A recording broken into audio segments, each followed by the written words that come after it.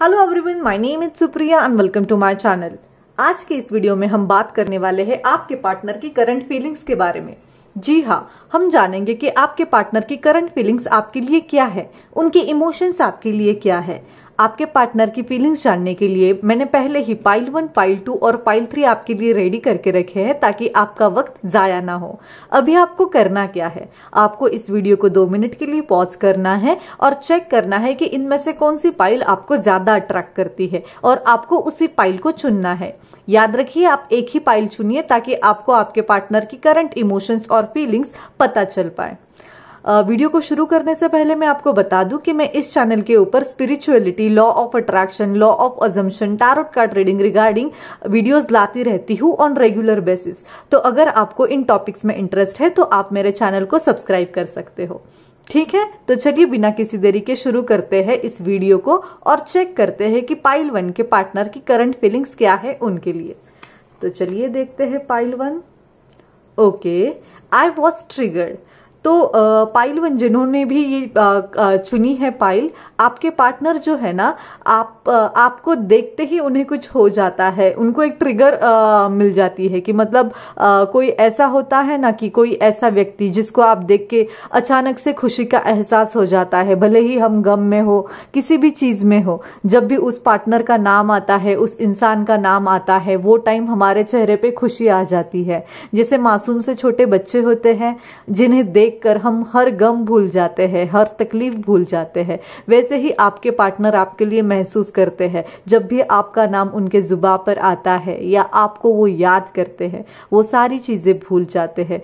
उनको एक emotional trigger जाती है कि yes you are my life partner you are my love life तो मतलब ये बहुत ही अच्छी फीलिंग है आपके लिए, आपके पार्टनर की पाइल वन तो कॉन्ग्रेचुलेशन फॉर दैट अभी देखते हैं पाइल टू के पार्टनर की करंट फीलिंग्स क्या है उनके लिए. Okay I can't tell how you feel आप इसको अच्छे से देख भी सकते हैं. आपके पार्टनर आपको इतना बेतहाशा चाहते हैं कि वो एक्सप्रेस नहीं कर सकते वर्ड्स में कि आप उनके लिए क्या हो. आपका साथ होना उनको क्या फील करवाता है, क्या महसूस करवाता है? आपकी प्रेजेंस उनकी ज़िंदगी में बहुत ज़्यादा मायने रखती है। जी हाँ ये बहुत अच्छी बात है कि किसी की ज़िंदगी में आप इतने ज़्यादा महत्व रखते हो। आपके इम्पोर्टेंस किसी के लाइफ में इतने ज़्यादा है कि वो अपनी भावनाएँ शब्दों में बयान नहीं कर सकते। बहुत ही सुंदर फीलिंग है ये, जो आपके पार्टनर अभी आपके लिए फील कर रहे हैं।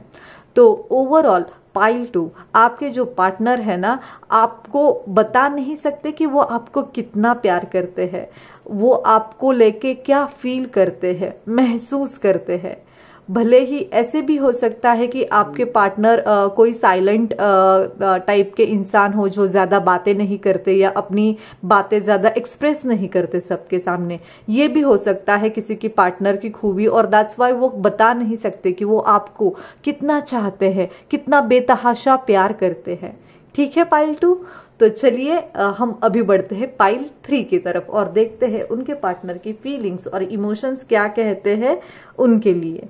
Okay so I am lost and confuse pile three आप आ, अगर आपने ये कार्ड चुना है आपने ये पाइल थ्री चुनी है तो आपके पार्टनर जो है ना कहीं ना कहीं आप में खोए हुए हैं। मतलब रहता है ना कि अगर हम किसी के सामने बैठते हैं, बहुत बार अगर आप सच्चे प्यार में हो तो आपने ये फील किया होगा कि आप किसी के सामने बैठते हैं। वो इंसान आपके साथ बातें करते जा रहा है, बड़बड़ करते जा रहा है, पर आप उसकी आँखों में खुए हुए हो, आप उसकी यादों में, उसके चेहरे में मदहोश हो, कुछ सोच नहीं रहा तो ऐसी सॉर्ट ऑफ़ फीलिंग आपके पार्टनर के मन में अभी है।